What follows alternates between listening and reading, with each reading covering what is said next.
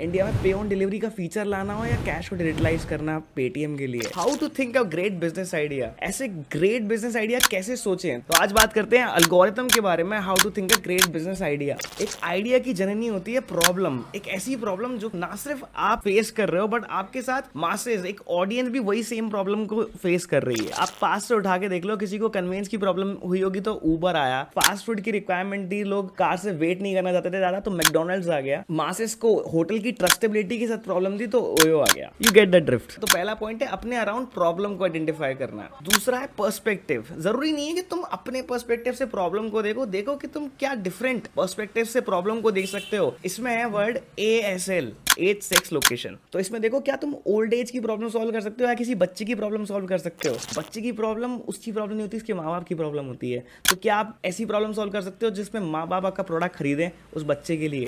दूसरे जेंडर में प्रॉब्लम सोचने की कोशिश करो। थर्ड है लोकेशन क्या तुम्हारे डेमोग्राफिक्स में कोई प्रॉब्लम है जो कि बाकी शहर में है, तुम्हारे शहर में नहीं है? हो सकता है तुम्हारे एरिया में चाय की टपरी नहीं है कोई।